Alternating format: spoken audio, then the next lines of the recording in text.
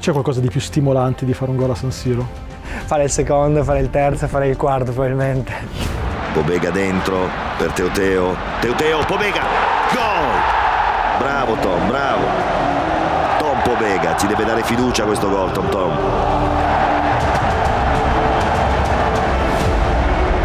Diciamo il primo l'abbiamo fatto, adesso puntiamo agli altri.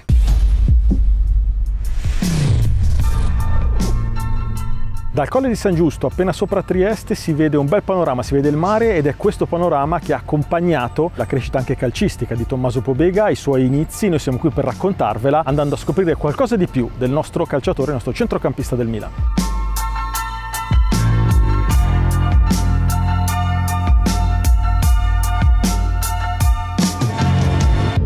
Lui ha iniziato a giocare a pallacanestro, ha fatto il primo anno di pallacanestro e poi il pallacanestro non si facevano le partite, lui voleva fare le partite come faceva il fratello e di conseguenza voleva, a questo punto siamo andati a giocare a calcio. Siamo andati su a Melara, l'ho portato su nella squadra di San Luigi e appena che è arrivato l'allenatore gli ha gettato la palla per terra, lui senza pensare l'ha calciata e a quel punto l'allenatore ha detto va bene, lo possiamo prendere. Io la prima volta che l'ho visto è venuto col papà e mi ha chiesto di portare il ragazzo a calcio, ma era piccolo, era piccolo. Ho detto, ma diamogli un pallone.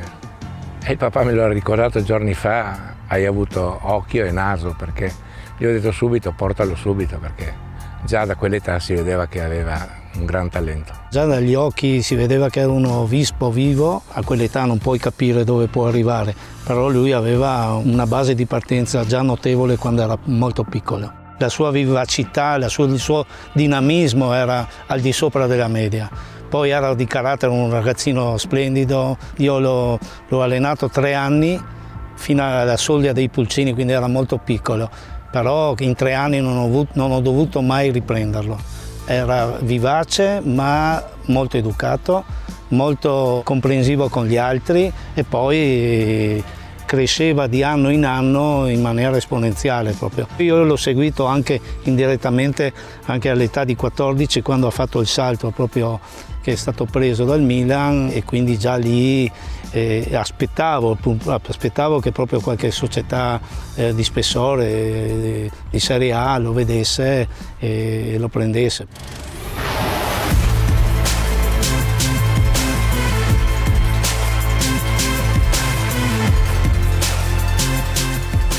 Facciamo un, eh, un, piccolo salto indietro, non era così il campo, era in terra, in no, terra rossa, era in terra e rossa. però chiudi gli occhi e vedi entrare Tommaso da quella porta eh lì. Sì, esattamente, da quella porta lì del cancello vedo che il nostro collaboratore mi indica e vedo che parlando con un papà e un bambino mi indica per avere, avevo capito, ero qui in campo con altri ragazzini, avevo capito che voleva delle informazioni e a un certo punto il papà eh, mi ha chiesto quando poteva incominciare e io in quel momento l'ho guardato e ho visto che era con una magliettina, calzoncini corti, Detto, subito. un paio di scarpette da ginnastica e ho detto bah, c'è per me anche subito.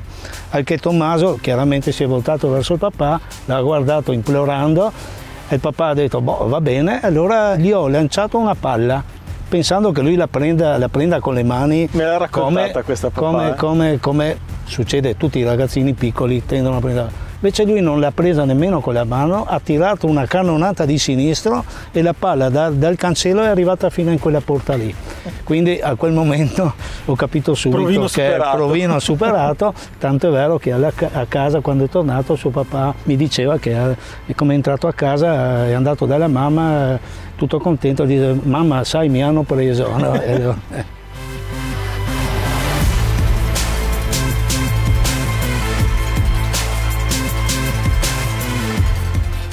Era sempre molto vivace, vivace, curioso, parlava tantissimo, lui era uno proprio della parlantina sciolta, e un bambino tranquillo, contento delle, dei suoi traguardi, delle sue cose, aveva diversi amici era... e poi giocava tanto anche con gli amici del fratello, quindi si rapportava sempre con bambini più grandi, di 5 anni più grandi, quindi secondo me questo l'ha aiutato tantissimo nella, nella sua crescita, no? perché rapportandosi con bambini più grandi eh, aiuta tanto per tante cose.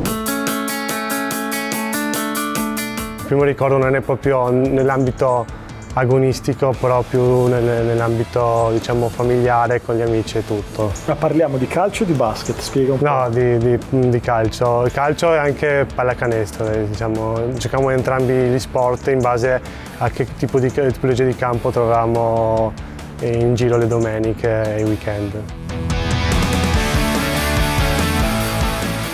Noi ci siamo conosciuti tantissimi anni fa, praticamente 15 anni fa, e ci siamo conosciuti in un camp estivo dell'Udinese tra l'estate, tra la quinta elementare e la prima media di Tommaso. Poi casualmente è venuto nella mia stessa scuola dove andavo io alle medie e da lì è iniziata una grande amicizia. Abbiamo iniziato a giocare assieme nella Triestina. E... Eh, infatti esatto, raccontami un po', tu giochi ancora adesso, giochi in eccellenza. Io gioco... E l'inizio però è stato insieme? Sì, l'inizio è stato assieme, diciamo non proprio agli albori. Abbiamo iniziato verso giovanissimi a giocare assieme e lui era già molto forte. Poi lui ha continuato un percorso un po' più importante al Milan e io ho continuato a giocare qui in categoria.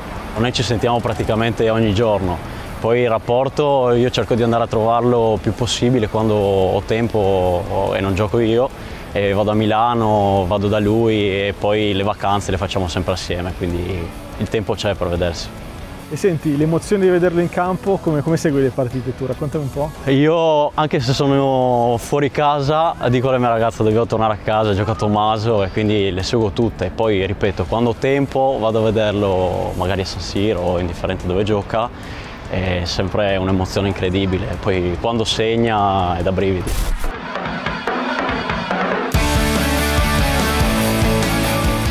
Spiegami un po' come l'hai vissuta questa crescita continua che ti ha portato adesso a guardare Milanello da, da uno dei padroni di casa, perché ormai sei elemento prima squadra.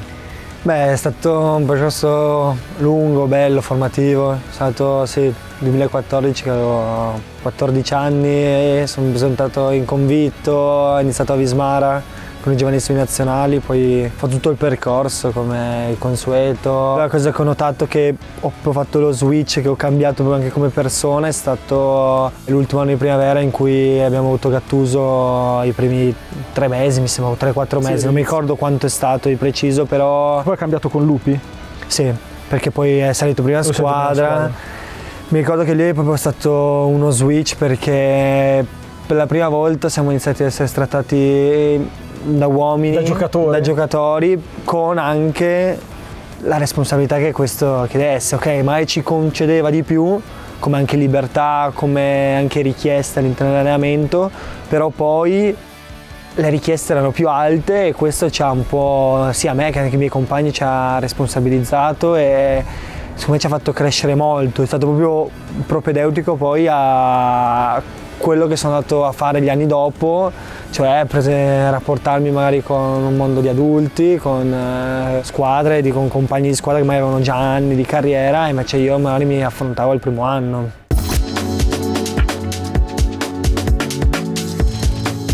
I figli bisogna lasciarli provare a fare le cose, no? quindi non è stato per niente facile perché L'anno prima lo portavo dappertutto, agli allenamenti, a scuola e, poi è arrivato l'anno dopo, avevo Sebastiano che era più grande, il figlio più grande e già indipendente, cioè aveva 5 anni di più e poi mi sono trovata anche senza Tommaso e quindi è mancato tantissimo in casa.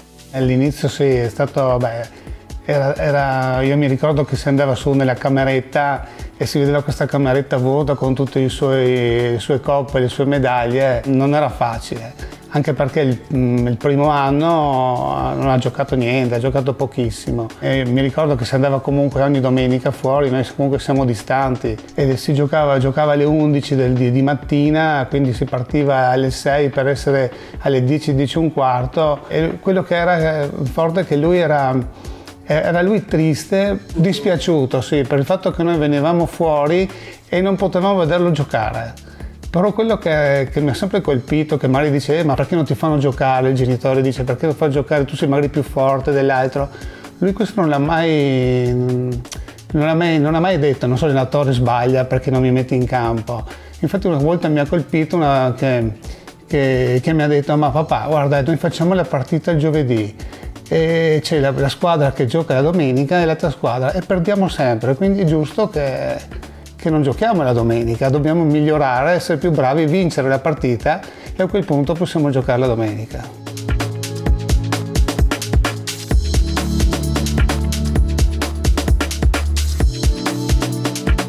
Spiegami un po' il, il, passaggio, quanta importanza ha avuto, non dal punto di vista calcistico, da quello umano. Ripensandoci dico sempre che è stata per me un'enorme fortuna perché mi ha cresciuto e mi ha fatto maturare tantissimo.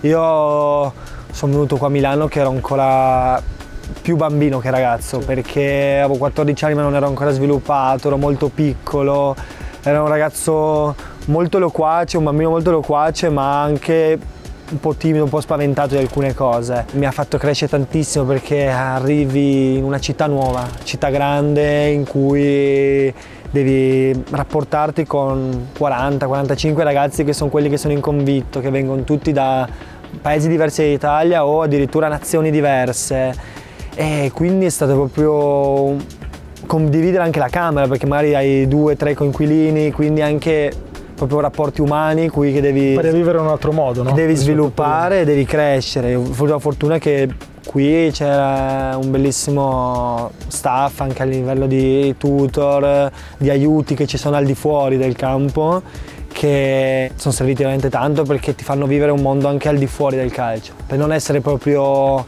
totalmente immerso in questo mondo, ma anche per staccare un po' perché mai serve, perché mai è il momento che non va bene. Io sono venuto qua il primo anno, non giocavo mai, cioè, ho giocato veramente poche partite, mai subentravo ogni tanto, ma perché ero un po' più indietro fisicamente, magari avevo delle carenze rispetto ad altri e non è facile. È bello però che il Milan riesca a far passare attraverso te, che sei l'ultimo a essere arrivato in prima squadra del settore giovanile, questo genere di, messaggio, nel senso che il Milan aspetta, sa far crescere il ragazzo dentro fuori dal campo e poi la dimostrazione che poi diventano giocatori veri. Sì, è stato bravo e fortunato perché mi è stata data molta fiducia, chance anche di, di aspettarmi, di vedermi crescere e anche al di fuori avere un, un, supporto che ti facesse vivere al di fuori, come la scuola, che magari hai incontri altre persone. Trovare le dinamiche giuste per esprimersi anche non solo come calciatore, da come esatto. giovane calciatore. Che rapporto hai con la tua famiglia e come ti ha seguito in questi anni? Ma io penso avere un bellissimo rapporto, magari non siamo, non, non comunichiamo tanto a livello magari tipo di sentimenti e così, però siamo una famiglia molto legata che quando c'è necessità siamo sempre uno aiut- ad aiutare l'altro. E all'inizio è stato un po' un trauma, soprattutto per mia mamma, perché comunque vedere il figlio che a 14 anni va a Milano è stato duro, ma chi ce lo fa fare a lasciarlo lì? Cioè per quale motivo? Sta lì che magari, che magari, soffre, magari non gioca. Noi si andava via da, da Milano la, la, sera, però lo, mm, cioè, quando lo salutavamo lui tornava sereno con i suoi amici, si vedeva che stava bene, anche grazie secondo me a tutto il gruppo di tutor che, l'hanno, che lui si è trovato benissimo. Noi ci siamo trovati benissimo col settore giovanile. E che gli hanno, accol- lo hanno accolto.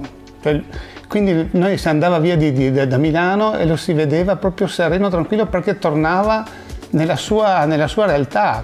Anche se non giocava, io sinceramente non ho mai avuto la sensazione che, che il Milan lo facesse tornare indietro, no?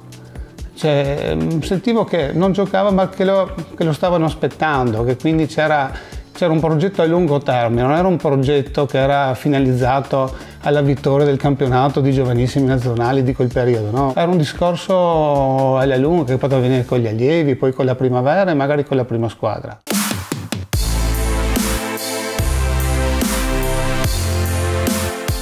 Dire che sono contento è riduttivo, sono orgoglioso di averlo pr prima di tutto conosciuto poi allenato a quell'età onestamente eh, ha fatto tutto da solo. Quello che sono orgoglioso di lui è che è stato un bravo ragazzo, non si è montato la testa ed è ancora adesso un esempio positivo, altamente positivo riguardo quello che è il calcio adesso e i bambini di adesso, che non sono i bambini di vent'anni fa. Ecco, purtroppo il calcio un po' è cambiato, non sempre in meglio e lui lo prendo spesso per esempio mh, per il suo carattere, per la sua serietà, per il fatto che non si è montato la testa in tutti gli anni e soprattutto anche per il fatto che ha avuto un grande supporto da parte della famiglia.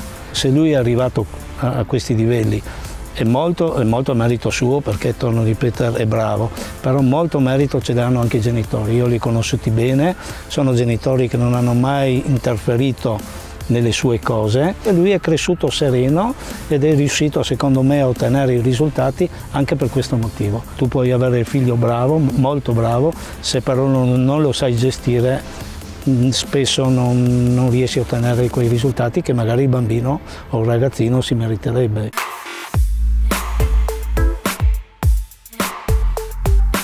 Tommy, bello percorrere questo corridoio, mi piace sempre perché vedo un po' di foto. Io mi ricordo quando tu hai debuttato in assoluto in prima squadra, però devi raccontarmelo tu. Amichevole contro il Bournemouth, Sì. 2016, Milan di Montella. Eh, Vai Montella. tu, spiegami un po'. Sì, era Milan di Montella, mi sembra che era una- anche lì una sosta nazionale. Era inizio settembre, sì. Mi ricordo che siamo andati in diversi ragazzi della primavera, siamo andati così eh, per fare per aggregati, per aiutare con gli allenamenti, così c'era la- l'amichevole in trasferta a Bournemouth, ci ha portato, è stata già lì, per me era una bella emozione comunque andare a fare una trasferta con la prima squadra, avere la prima maglietta col nome. 17 anni, giusto? E cosa, Era 2006? 99, era 2016. Sì, quindi se la matematica. quindi iniziamo e siamo al riscaldamento, stadio bellissimo, campo inglese, così. Era già bello un po' anche agitato e tutto. E fortuna nel secondo tempo sono andato a scaldarmi, poi mi ha fatto entrare verso la fine, mi sembra gli ultimi 5 minuti. Eh, però è una bella, una bella emozione. È stata sì, veramente, veramente bella. È stata la prima maglietta ufficiale. Ce l'hai ancora? Ce l'ho ancora. Non l'hai data a nessuno, quella te la tieni Eh? gelosamente. Quella ce l'ho a casa insieme ad altre che, Quella che non- tengo. quella non si regala. E che altre vorrò tenermi. Arrivando poi anche al, al capitolo nazionale, che è una delle cose più recenti di cui possiamo parlare, tu debutti, a proposito di debutti assoluti, al posto di Tonali, entrando al posto di Tonali in nazionale, in Nations League. Eh, un 2000, un 99, centrocampisti Milan, centrocampisti Italia, eh, bello, no? Anche da quel punto di vista lì è un'emozione che se guardi a quel debutto lì e pensi a dove sei arrivato al debutto, uno dei più freschi, quello azzurro, tanta roba. No, è una bella cosa, ma anche proprio per tutto il movimento che c'è, anche per proprio per, per il Milan in sé, comunque avere giocatori italiani, giovani, che riescono comunque andare in nazionale, giocare, fare le presenze, cercare di fare il loro meglio possibile, è sempre una cosa bella. Poi comunque con Sandro c'è un bel rapporto, ci- si sta bene, quindi c'è anche un'amicizia al di fuori del campo e quindi fa solo che piacere condividere questi momenti insieme. E, senti, mi parlavi del gruppo azzurro al Milan, ma anche ovviamente il gruppo che sta nascendo con, con le varie nazionali. Perché ti dico varie nazionali? Perché tu hai fatto una bella esperienza in Under 21 con Paolo Nicolato, hai fatto il giocatore europeo, hai anche segnato in quel, in quel periodo. Eh, come vedi, e qui ti faccio una domanda un pochino più difficile, i miglioramenti del calcio italiano essendo all'interno di un gruppo giovane della nuova Italia che nascerà, che sta nascendo? Ma è, è sempre un discorso un po', un po' delicato e in questo periodo se ne parla tanto. Secondo me non è che non ci sia talento, non è che non ci siano giocatori, non è che non nascano più. È solo questione a volte di saperli magari aspettare al momento giusto o capire quali sono le necessità che hanno questi giocatori per valorizzarsi al massimo. Cioè, io stesso comunque ho dovuto fare un percorso per, per magari trovarmi a crescere sempre di più allenamento dopo allenamento e anno dopo anno. Forse questa è la cosa più importante che sarà da fare con tutti i giovani che sono in rampa di lancio adesso. E a questo punto, per parlare un po' di passato ma più recente, quindi le tue varie esperienze, uscirei sui campi, andrei, andrei sui campi di Milanello. Ottimo, andiamo.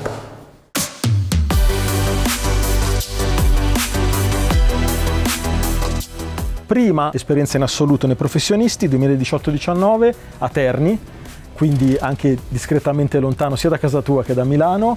E un concetto, una parola, qualcosa che ti rimane da quell'esperienza lì, se vogliamo sintetizzare al massimo? Penso che sia stata una delle prime esperienze in cui le cose non sono andate così tanto bene perché a livello di squadra abbiamo avuto dif- diverse difficoltà, abbiamo avuto anche un periodo di contestazione da parte dei tifosi, quindi diciamo è stata forse proprio Più crescita di così, così non si- difficile. difficile, è stato forse proprio il primo impatto con la prima squadra a 360 gradi, quindi tifosi, critiche, quindi poi da quel punto di vista mi ha fatto maturare sicuro. Poi sei passato a Pordenone eh, realtà importante perché si stava in quegli anni affermando e diventando una, una realtà, tornando ad essere una realtà, una realtà importante e tu hai fatto doppietta alla prima in Serie B, giusto? Sì, è stata una bellissima esperienza. Nettamente più vicino a casa, ha aiutato anche questo? Nettamente più vicino a casa, mi sono riavvicinato e ho trovato un bellissimo gruppo. Loro venivano dalla vittoria l'anno prima della Lega Pro, quindi Serie C, quindi erano un gruppo molto affiatato in cui il direttore, il mister hanno cercato, il presidente hanno cercato di non toccare troppo l'asse della squadra e quindi siamo riusciti a fare un bellissimo campionato che alla fine ci ha portati a essere i quarti in classifica, a giocarci i playoff e per poco magari non andare addirittura in Serie A. Ed è stato veramente un bell'anno in cui ho trovato un mister che mi ha dato tanta fiducia come Tessere, mi ha fatto crescere proprio molto a livello di campo in cui prendermi più responsabilità, essere più, più cinico, più obiettivo per raggiungere la vittoria e quindi è stato un anno che porto molto... Nel cuore? Sì, mi è, mi è, rimasto molto. Parlavi di allenatori e mi fai un assist perché poi l'anno dopo, che forse io mi sbilancio, poi mi, mi correggerai se non è vero, è forse quello più importante in assoluto finora perché Spezia, primo anno di Serie A, trovi una dimensione diversa da quella degli anni precedenti perché arrivi nel calcio veramente dei grandi e trovi italiano, giusto? Più importante non, difficile non, è difficile dirlo perché ogni allenatore mi ha sempre lasciato qualcosa. Ogni anno per me è stato sempre un anno di crescita, non solo di categoria ma proprio tecnico, umano, quindi sarebbe riduttivo per gli altri allenatori definirli magari meno però è indubbio che è stato il mio primo anno in Serie A, il primo anno in cui affronti davvero il calcio che, che magari sogni da bambino, gli avversari che prima vedevi mai in televisione. E ho avuto un mister molto competente, molto bravo come italiano che ha permesso sia a me che a tutta la squadra di, di cercare di togliersi magari quelle tensioni, quella difficoltà magari da da esordiente, ma di giocarsi a viso aperto e dire io me la gioco, ogni partita me la gioco, poi l'obiettivo è vincere ovviamente, se la perdi non importa, ho dato tutto, me la sono giocata e questo me, a me e a tutti i nostri compagni ha, ha aiutato nel crescere e dopo siamo riusciti anche a raggiungere una salvezza che non era scontata. Non molti si aspettavano, dai, diciamo, no. all'inizio era difficile pensarlo. All'inizio era difficile e non era per niente scontata e siamo riusciti a raggiungerla, infatti è stato comunque un successo a tutti gli effetti. Senti, prima di arrivare all'ultimo step, ovvero a Mister Pioli, perché poi sono curioso di sapere anche il rapporto che hai con lui, Stiamo sul tema, tema, allenatori che mi sembrava interessante. Juric, Torino, ultima annata prima di tornare appunto a, Milano in prima squadra al Milan. Eh, allenatore diverso da italiano che però mi risulta che abbia lasciato anche tanto dal punto di vista anche emotivo, non solo tecnico. Sì, allenatore molto diverso magari come richiesta di italiano, però molto simile come, come preparazione, come voglia di, di affermarsi. Entrambi gli allenatori ho trovato due allenatori molto intensi che volevano tirare fuori il meglio dei giocatori per rendere il meglio durante la stagione forse italiano più mi ha dato qualcosa di più tecnico, Juric più a livello proprio morale, di, di, intensità, di lavoro, di capacità di giocarsi le partite proprio tutto uno contro uno e devi essere anche pronto mentalmente, fisicamente per dire io me la gioco alla pari, anzi ti voglio battere ogni partita, voglio vincere ogni duello. Quindi... Ha cresciuto la tua ambizione? È riuscita a crescere anche l'ambizione o ce l'avevi già bella, bella alta? Quella, quella comunque è sempre stata alta, è sempre stata qualcosa che è cresciuto col tempo, però ti fa aumentare magari anche più in consapevolezza perché ti trovi veramente a giocare uno contro uno, magari con i, nel mio caso con i centrocampisti un po' più chiacchierati del, certo. del panorama della Serie A e dici, cioè me la sono giocata, senza, paura. senza paura, me la sono giocata magari ho fatto meglio e quindi ti fa crescere anche magari come consapevolezza.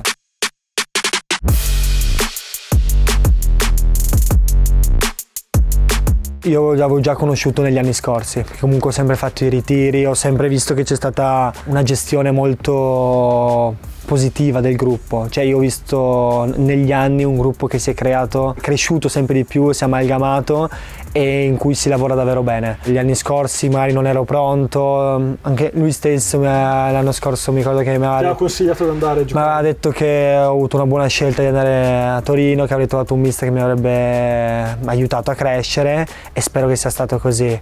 Con eh, mister Pioli abbiamo un buonissimo rapporto in cui mi consiglia sempre dove poter avere quel margine di miglioramento che deve essere costante, ogni volta devi trovare un obiettivo, una, uno stimolo in più per migliorare e in più una gestione del gruppo che, che è veramente ottima perché all'interno del, del, gruppo capiamo proprio quando c'è da andare forte, allenarci e quando magari anche capire i momenti, visto che abbiamo così tante partite, in cui magari bisogna scendere un attimo per recuperare meglio per poi fare il giorno dopo l'allenamento ancora più forte e per migliorare.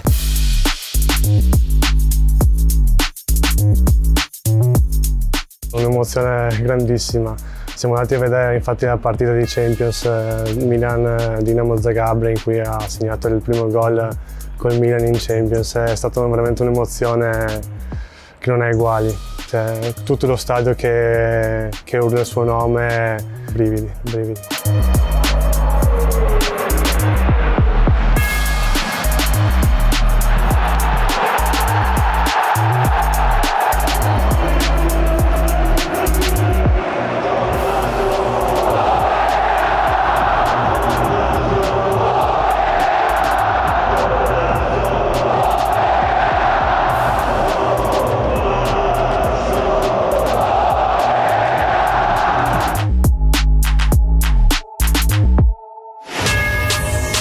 Noi dilettanti facciamo tutto quello che facciamo su eh, tantissime persone eh, sotto l'aspetto del volontariato, quindi quando hai una gioia del genere ti ripaga di tutto quello che, che fai in definitiva. No? Una cosa molto bella, anche quella che ho visto poco fa, eh, la foto, la dedica che hanno fatto i bimbi i pulcini di adesso, che seguono un po' da tifosi no, il percorso di Tommaso, perché poi il sogno per loro è emularlo. Eh beh certo, quando loro scoprono che c'è qualche ragazzo che arriva a questi livelli, ne parliamo eh, di quel gruppo, noi abbiamo altri due che fanno i professionisti, ma non a livello di Serie A, quindi quando un ragazzo eh, che è nato qua arriva in Serie A è evidente che è un po' il fiore all'occhiello, ma è anche l'emulazione che i bambini cercano di avere nei suoi confronti. un esempio in qualche modo. Certo, certo, certo. certo.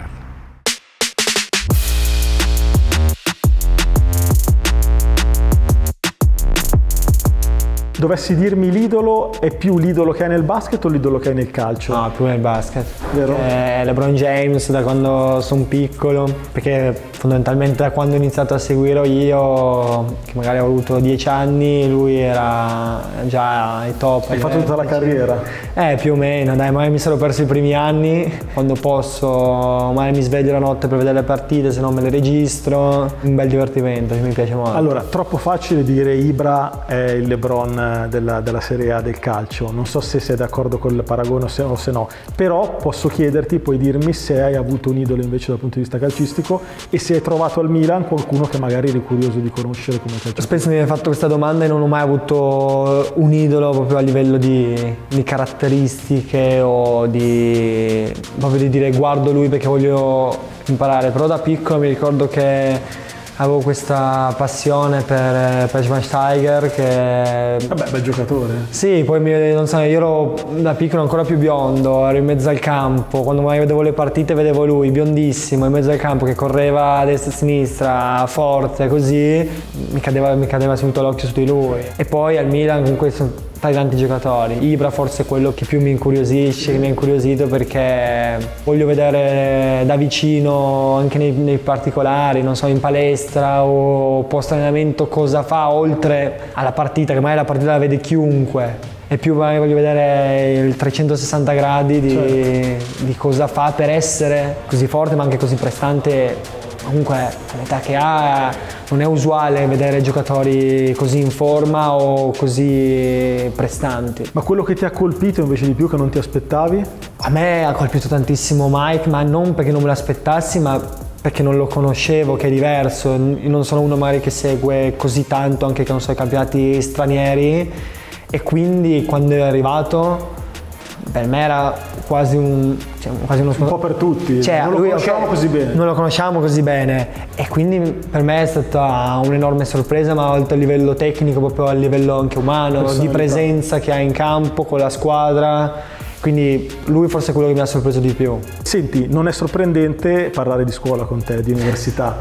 Devi aggiornarci perché sei uno dei pochi giocatori che hanno proseguito il programma di studi facendolo anche in una materia importante, quindi raccontaci un po' come, come va. Sì, io quando ho finito le superiori ho preso un anno in cui me lo sono preso più libero e poi ho ripreso a fare la carriera universitaria, mi sono iscritto all'Università Telematica la facoltà di economia aziendale. Inizialmente è nato anche come un piano B, comunque è sempre incerta la carriera del, del calciatore, certo. può andarti bene come può andarti male.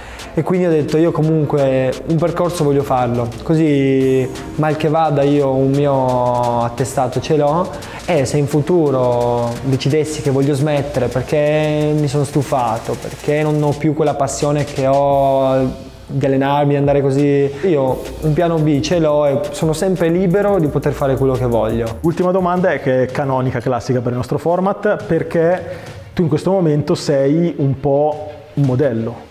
Sei giovane, stai, sei arrivato in un palcoscenico importante, devi confermarti, però torna al Tommaso che ha 13-14 anni e ha davanti tutto da conquistare e guardando in faccia ai ragazzini che ti stanno guardando, digli qualcosa di vero, di sentito, di utile per loro, perché non tutti, pochi di loro arriveranno, di quelli che lo sognano, però tu sei la, l'esempio, come alcuni ragazzi sono cresciuti nel settore giovanile del Milan e sono arrivati in prima squadra, che è possibile. Una cosa che negli anni ho sempre pensato e quando mi è stata chiesta una cosa simile ho sempre riportato il fatto di non trovare mai alibi. Una cosa che veramente secondo me è fondamentale perché negli anni troverai sempre magari il periodo che non giochi, il periodo che magari le cose non vanno tanto bene. Tu che sei in prima persona sai come stanno le cose realmente, sai se non giochi perché magari non ti stai allenando così bene o qualcuno in quel momento è più pronto di te. E il fatto di non trovarsi alibi vuol dire io devo lavorare di più, vuol dire non sto giocando, ok, faccio in modo di ascoltare cosa, cosa dice il mister, faccio in modo di migliorare sui miei punti deboli perché io non ho mai visto un mister che vuole perdere. Cioè se fa delle scelte è perché magari sono quelle che in quel momento reputa migliori. Poi che siano giuste o sbagliate, eh, sono quelle, tu devi accettarle e dopo fare il meglio. È troppo facile dire colpa di non, sono, non ho fatto bene questo mese per quel motivo, non ho fatto per quello. Tu fai il tuo massimo, poi secondo me le cose alla lunga arrivano.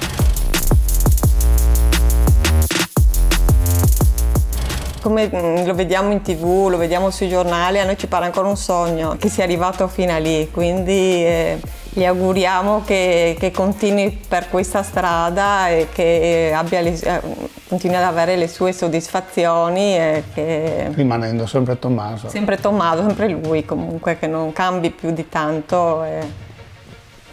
perché ci piace come è diventato insomma.